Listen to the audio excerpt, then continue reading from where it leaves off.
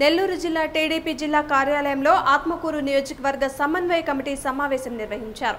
ఈ కార్యక్రమంలో ముఖ్య అతిథులుగా ఈ కార్యక్రమంలో ముఖ్య అతిథులుగా జిల్లా ఇన్ఛార్జ్ మంత్రి అమర్నాథ్ రెడ్డి జిల్లా మంత్రులు సోమిరెడ్డి చంద్రమోహన్ రెడ్డి పొంగూరు నారాయణ హాజరయ్యారు.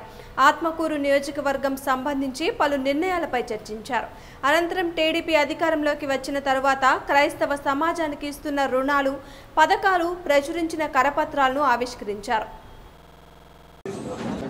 ఆత్మకూరు నియోజకవర్గ సమన్వయ కమిటీ ముఖ్యమైనటువంటి నాయకులతో సమావేశం నిర్వహించడం జరిగింది.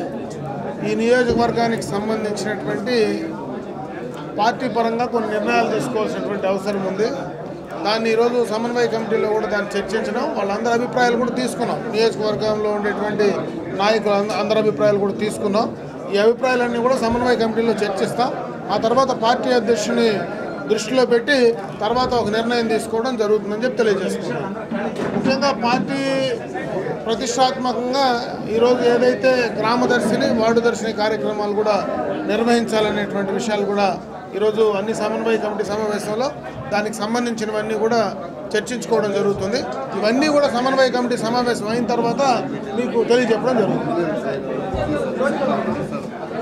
అదేవిధంగా పార్టీకి సంబంధించి ఈరోజైతే నెల్లూరు జిల్లా తెలుగుదేశం పార్టీ క్రైస్తవ విభాగానికి సంబంధించినటువంటి ప్రభుత్వ పథకాలన్నీ కూడా ఈరోజు యొక్క పాంప్లెట్ రూపంలో ఆ క్రైస్తవ విభాగం దాన్ని ప్రజల్లోకి తీసుకెళ్ళేటువంటి కార్యక్రమానికి శ్రీకారం చుట్టింది.